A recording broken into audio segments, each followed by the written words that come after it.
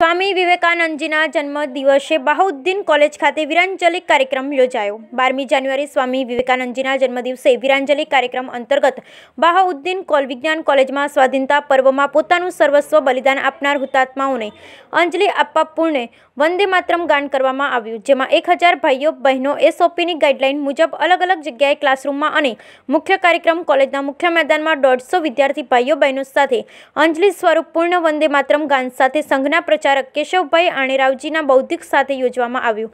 આ કાર્યક્રમમાં સંસ્થાના આચાર્ય ડોક્ટર રાજેશ ભટ્ટના સંકલ્પ બળ તથા પૂર્ણ સહયોગથી સમગ્ર સ્ટાફ ઉત્સાહપૂર્વક જોડાયો હતો. Bureau report Rishi Joshi, Junagadh.